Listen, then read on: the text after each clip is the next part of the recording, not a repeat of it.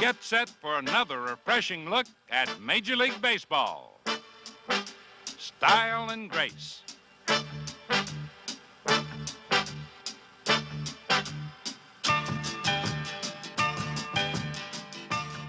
Intricate teamwork.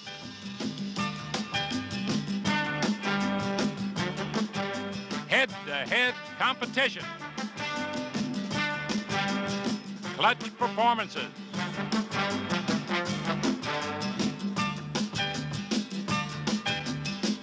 Sparkling defense. Rookies with power.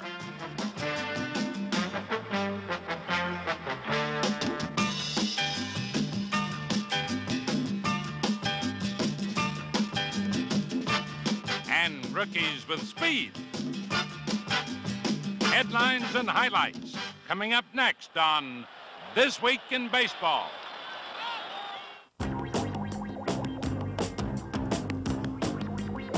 In the American League West, a tight four-team race has been blasted wide open by the Kansas City Royals. They just haven't been letting anything get by them.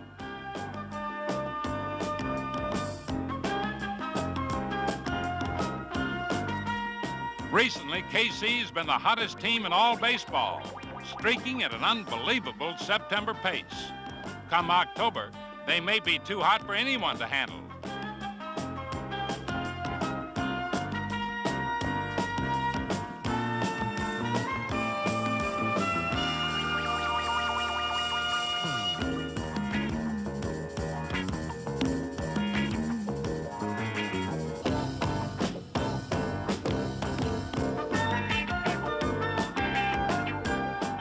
What can you say about a team that wins 12 in a row and 23 of 26 ball games? Yes, the Royals are roaring toward a repeat of their 1976 divisional title.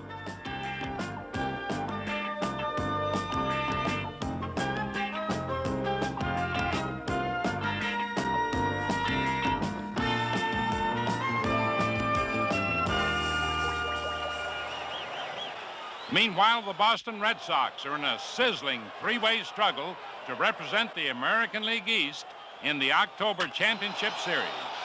Behind the blazing bat of Carlton Fisk, the Red Sox were off on another winning streak. Fisk hit over 600 for the week, drove in 17 runs and won five-game stretch. Four RBIs came on this grand slam homer. Carlton and the Sox feel they were ready for their two big showdowns with the Yankees. Five games with standing room only, which figured to draw nearly a quarter of a million people. With all the talk about the Yankee-Red Sox rivalry, they're keeping a weather eye cocked on a third team in that Eastern Division scramble, the Baltimore Orioles. Just ask manager Earl Weaver. He'll remind you that his Orioles have won their division five of the last eight years. One reason has always been Jim Palmer, who in this year's stretch run is looking very much like the Oriole ace of old. He started fast this year, slowed down after the All-Star game, but now he's back in the groove.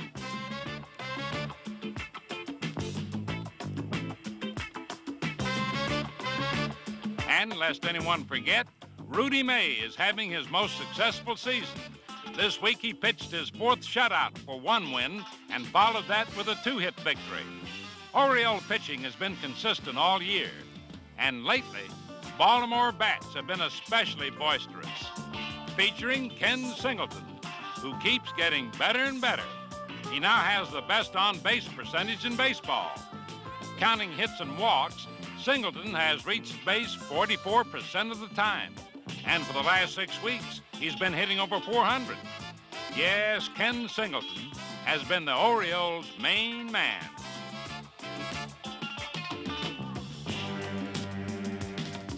And there are others also doing what it takes to win, like switch hitting Eddie Murray.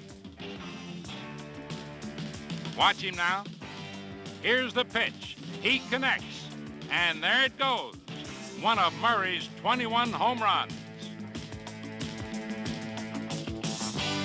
Surprisingly, during September, the Orioles have been scoring runs at a pace equal to the Red Sox and Yankees.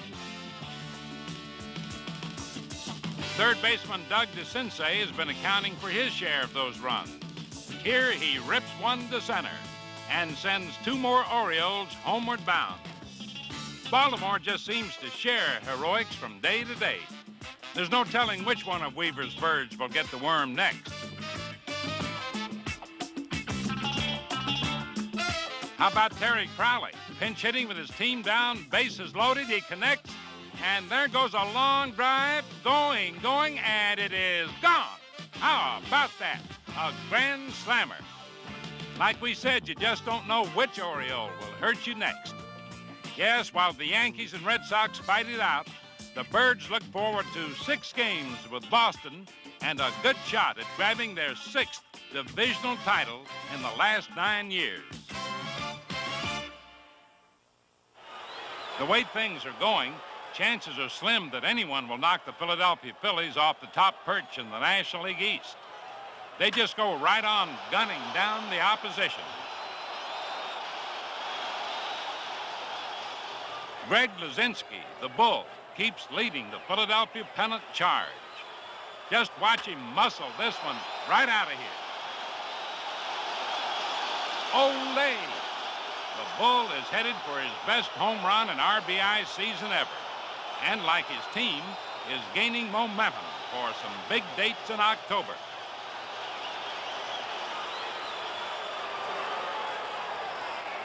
Meanwhile, the Pittsburgh Pirates keep scrambling to stay alive, but time is getting short. They fought the Phillies in some tough battles this week, going all out despite the Phil's almost insurmountable lead.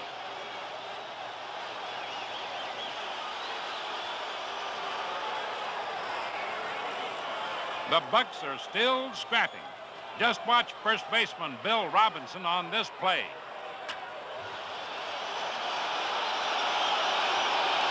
Man alive. And on this play, keep an eye on second baseman Phil Garner.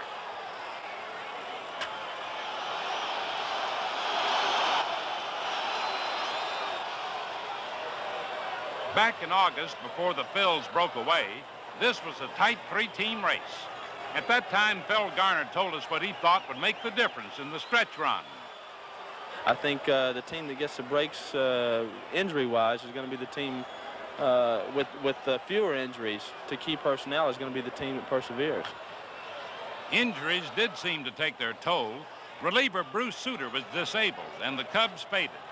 Sutter had been the most sensational relief pitcher in baseball at the time. Pittsburgh suffered key losses too.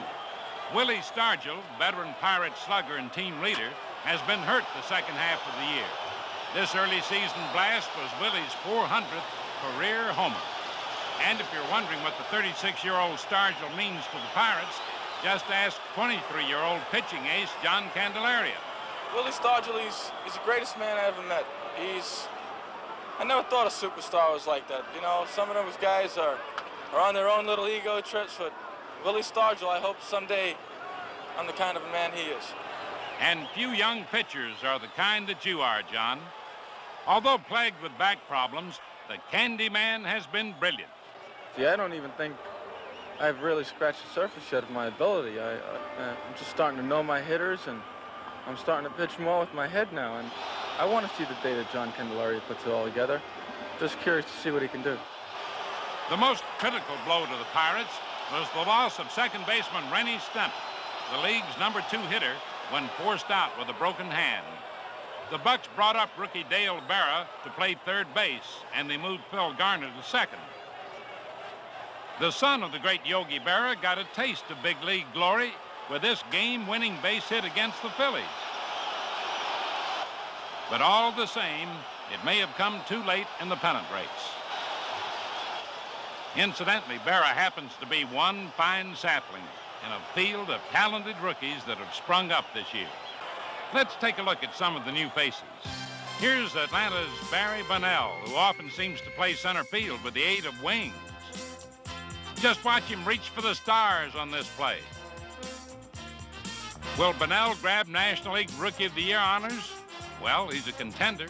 He can play both the infield and outfield, and he's hitting close to 300. Here he brings home Pat Rockett, another highly touted Braves rookie.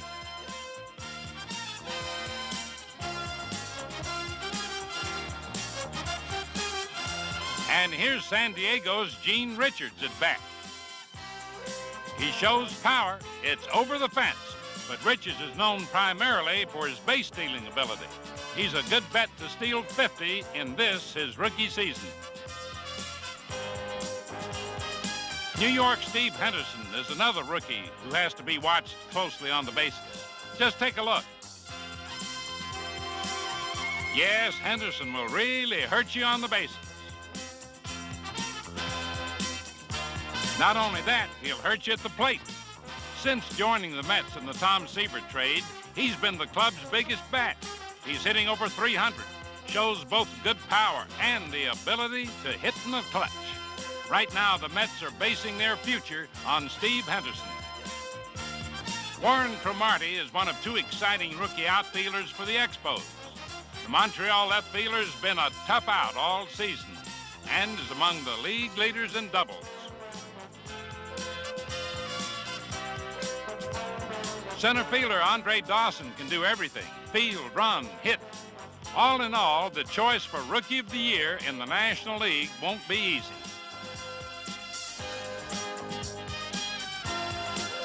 Bump Wills is one reason competition in the American League might be even tougher. A leading candidate for rookie honors, he's clearly the favorite son in Texas. And any son of Maury Wills has much to live up to, but Bumps proved he can make a name for himself.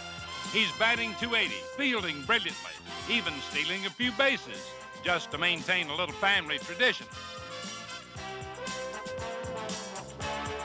We've been talking about Baltimore's Eddie Murray all year, mainly because he keeps getting the big hits that win ball games. The young switch hitter has plenty of power, and although not yet a 300 hitter, he's been one of the big reasons why Baltimore is still in the pennant race.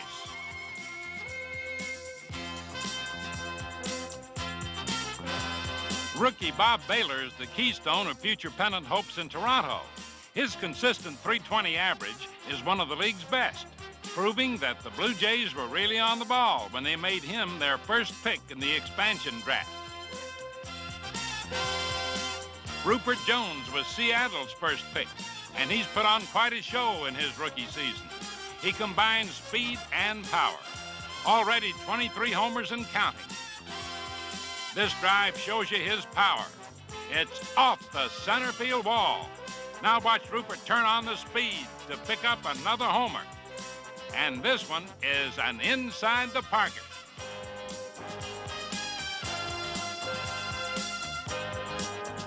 But when it comes to speed and power, few rookies have ever had it like Mitchell Page. He's become one of the finest base stealers in the game. Already set a league record of 26 straight steals. And he wields a dangerous bat, one that combines a 300 average with power and heavy RBI production. The A's built one dynasty around a young player by the name of Reggie Jackson, and they hope to build another around Mitchell Page. Rookie Steve Kemp is one reason why Tiger manager Ralph Houk is brimming with confidence about Detroit's future. The former USC star has made it big in a hurry with over 80 RBIs. Last year, Mark Fidrych was the overwhelming choice for Rookie of the Year. This year, the Tigers' 15-game winner Dave Rozema could grab the honor. League competition is tough, which makes it really hard to pick a winner when so many talented rookies arrive together.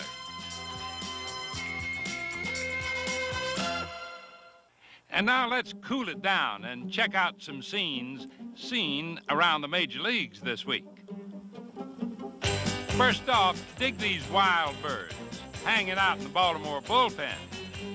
Rock and roll is here to stay. Rick Dempsey, ladies and gentlemen, on lead back. And here's my friend White Sox broadcaster Harry Caray, just reeling with the feeling. Holy cow. It's happening on the ball field, too. Fred Lynn and Bernie Carbo do the Boston Bump. Now, this dance is really out of step. Call it a precision collision. Base runner, the fielder, to umpire. What a combination shot. Baseball's a rough and tumble business. The catcher has him hung up.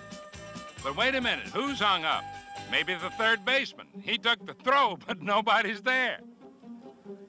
Coming down to earth, Yankee slugger Cliff Johnson hits the deck for a strike one count. Don't worry about it, baby. You got two more rounds. Those Bronx Bombers are famous for swinging from their heels. Of course, you can't always get it all together. Just watch this.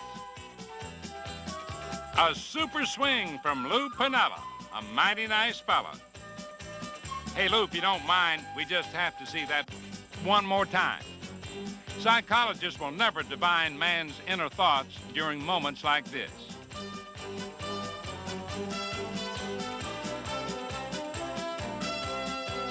Here's some quick thinking. Graig Nettles sees where he's headed and says, oh, forget it. Graig happens to be one of the best third basemen in the world, but watch him here. He drifts under a pop-up and yells, I got it.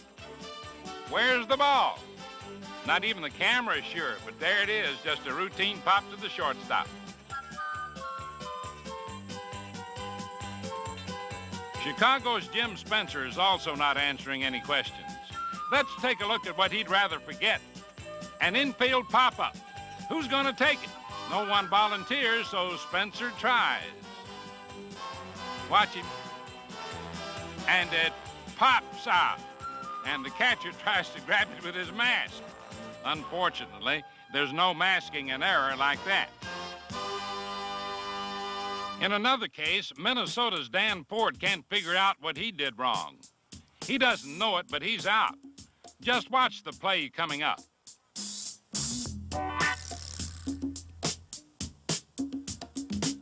There's a line drive to left field that looks like a hit. Ford takes off from first, not knowing the ball will be caught until he reaches second.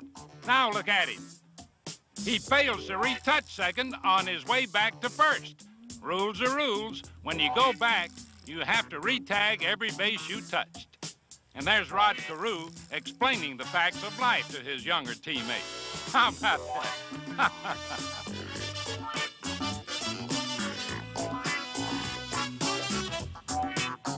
and here's one that no one can miss, though Gary Maddox won't easily believe it. Generous offerings from the Pittsburgh Pirates.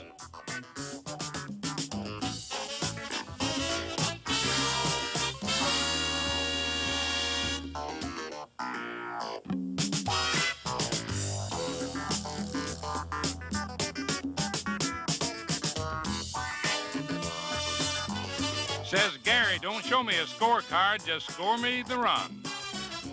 On a more inspiring note, with a man on, Fred Patek bunts. Jim Palmer lets it drop. Throws to first, but runner Darrell Porter never went to second. That doesn't bother the umpire, but it does bother the Orioles.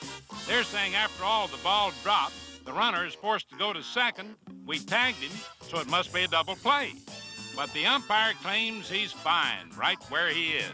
And he's right. Here's why. As the throw comes to first, Porter alertly waits for the batter to be out, then quickly steps back before the tag, removing the force. Thus, he's safe. That's using baseball know-how. Now let's see some players use their exciting talent. Duane Kuiper shows it at second base.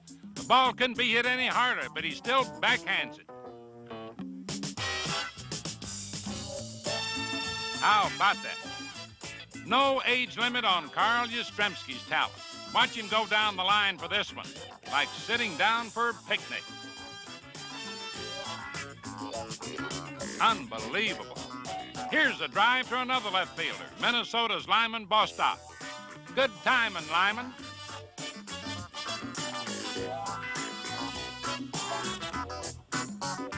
But number one this week on the defensive charts is California's Don Baylor. Take a look. Wow! That one deserves a big round of applause.